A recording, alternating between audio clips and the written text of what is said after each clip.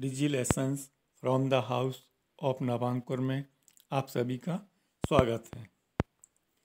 बच्चों, आज हम विषय सामाजिक विज्ञान के पार्ट बाईस, औरंगज़ेब तथा मुगल साम्राज्य का पतन, भाग एक के बारे में पढ़ेंगे।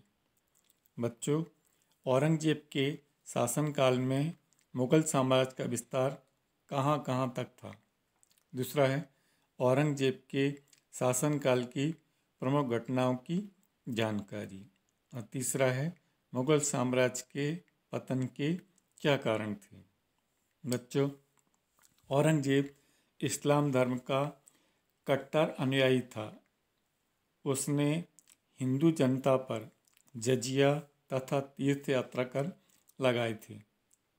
चित्रकला तथा संगीत को गैर इस्लामी मानते हुए उसने उस पर प्रतिबंध लगा दिया था। उसकी कठोर नीति और अविश्वासी स्वभाव के कारण उसके खिलाफ सशक्त विद्रोह उठ खड़े हुए थे, जिन्हें दबाने के प्रयासों में साम्राज्य का प्रशासन कमज़ोर होता चला गया और उसकी आर्थिक स्थिति भी बिगाड़ दी गई। बच्चों, औरंगज़ेब के शासनकाल की प्रमुख घटनाएँ। तो पहली घटना है, बुंदेलों, जाटों तथा सतनामियों के विद्रोह। बुंदेलखंड में चंपत राय ने औरंगज़ेब के खिलाफ विद्रोह शुरू कर दिया था। पराजित होने पर उसने मुगल सत्ता को स्वीकार करने की अपेक्षा आत्महत्या करना उसने बेहतर समझा। उसके उत्तराधिकारी यानी उसका पुत्र जो था छत्रसाल, उसने भी औरंगज़ेब के विरुद्ध विद्रोह किया और धमोनी तथा कालिंजार पर उसने अपना अधिकार कर लिया था।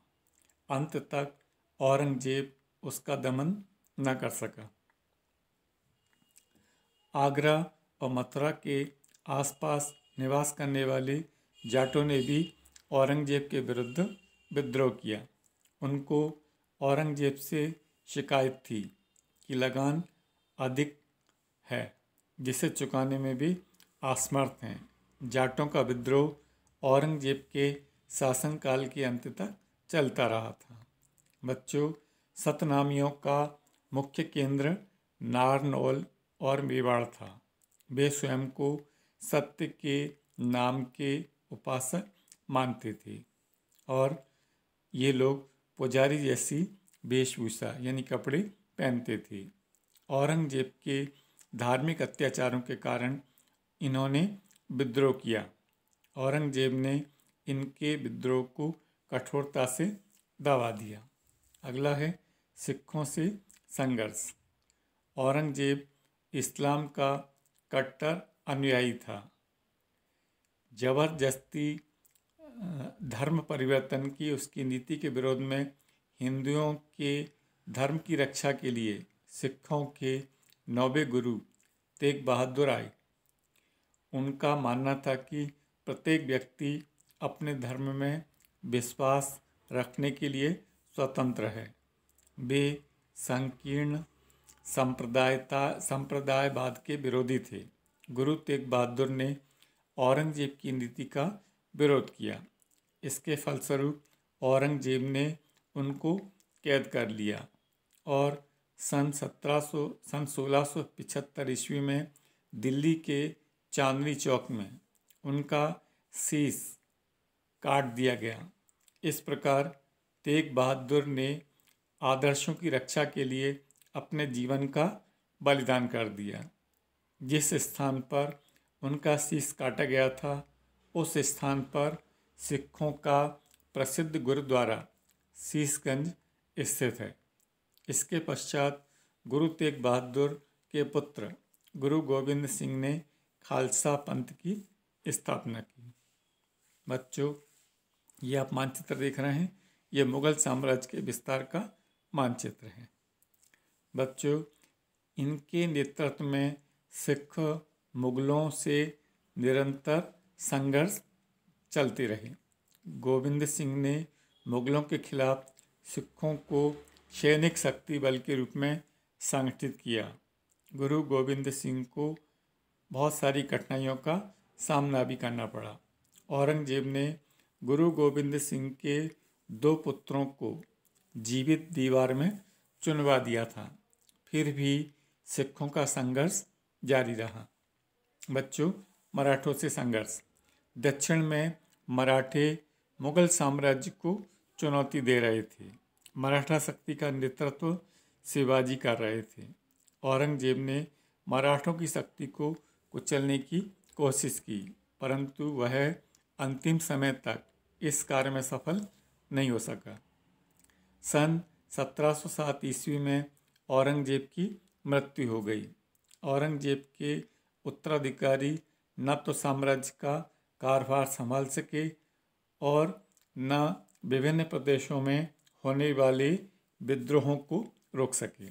फलस्वरूप मुगल साम्राज्य का पतन शुरू हो गया। बच्चों, नादिर शाह का आक्रमण, सत्रह सौ उनतालीस ईस्वी में ईरान के शासक नादिर शाह ने मुगल साम्राज्य की कमज़ोरी को देखकर आक्रमण किया। उसने दिल्ली में लूट व कत्लेआम का आदेश दिया। शाहजहाँ का बनवाया हुआ मयूर सिंहासन वह अपने साथ ले गया। अठारहवीं शताब्दी में बादशाहों, मनसबदारों व अमीरों के बल पर चलने वाला शक्तिशाली मुगल साम्राज्य अब कमज़ोर होता चला गया। भारत में एक बार पुनः छोटे छोटे राज्य अस्तित्व में आ गए। बच्चों, मुगल साम्राज्य के पतन के कारण। पहला कारण है साम्राज्य की विशालता। मुगल साम्राज्य के अत्यधिक विशाल होने के कारण संपूर्ण साम्राज्य पर नियंत्रण रखना कठिन था। उसके उत्तराधिकारी अयोग्य थे, इसलिए वे भी साम्राज्य की रक्षा ना कर सके। दूसरा है, उत्तराधिकार के नियम का अभाव। प्रत्येक शासक की मृत्यु के पश्चात उनके पुत्रों में राज्य प्राप्ति के लिए संघर्ष होता रहा, जिससे साम्राज्य कमज़ोर होता चला गया। अगला है, औरंगज़ेब का अविश्वासी स्वभाव एवं कट्टर धार्मिक नीति। औरंगज़ेब अपने पुत्रों पर भी विश्वास नहीं करता था। वह अपने पुत्रों को राजनैतिक एवं सैनिक शिक्षा प्रदान नहीं कर सका, जिससे वे अयोग्य रह गए। औरंगज़ेब की अनुदार व असहिष्णुता पूर्ण धार्मिक नीति के कारण सिखों जाटों, सतनामियों, राजपूतों, मराठों आदि के द्वारा अपने धर्म की रक्षा के लिए किए गए संघर्षों को कुचलने के प्रयास में लगातार युद्ध चलते रहे, जिसके परिणाम स्वरूप मुगल साम्राज्य का पतन हुआ। अगला है औरंगज़ेब की दक्षिण भारत नीति। औरंगज़ेब ने अपने जीवन के अंतिम 25 वर्ष भारत के दक्षिण भागों में युद्धों में व्यतीत किए। इसके फलस्वरूप उत्तर भारत में प्रशासन पर मुगलों की पकड़ ढीली पड़ने लगी। युद्धों के कारण राजकोष भी खाली हो गया। अगला है बिलासी शासक एवं सरदार।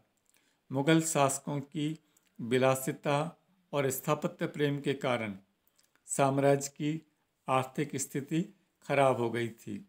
भवन निर्माण तथा राजसी ठाट बाट में अत्यधिक धन खर्च किया गया।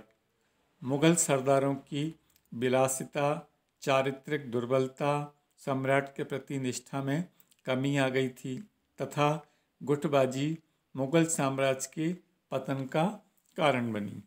अगला है विदेशी आक्रमण। इसमें नादिर शाह का आक्रमण। ईरान के शासक नादिर शाह ने मुगल साम्राज्य की कमज़ोरी को देखकर सन सत्रह सौ उनतालीस में आक्रमण कर दिया।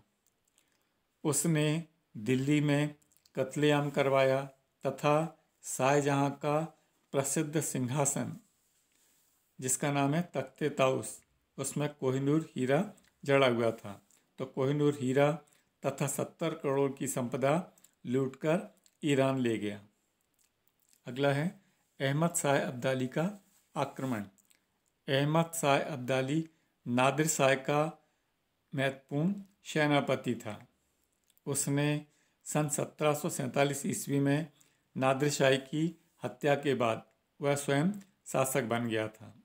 इधर भारत में मराठे अपनी शक्ति बढ़ाने, बढ़ाकर अपना प्रभाव उत्तर भारत पर करना चाहते थे।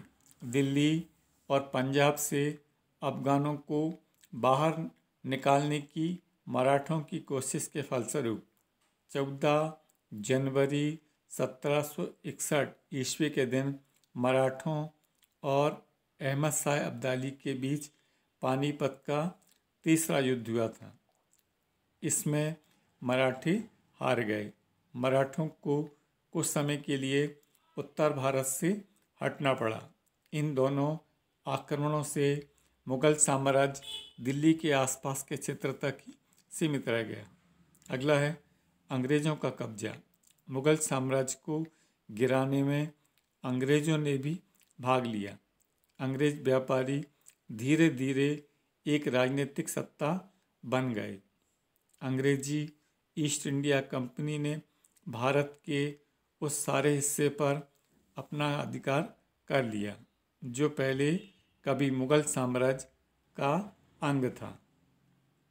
अगला है नौसेना की कमी। नौसेना की ओर ध्यान न देना मुगल साम्राज्य के लिए बहुत नुकसानदायक सिद्ध हुआ।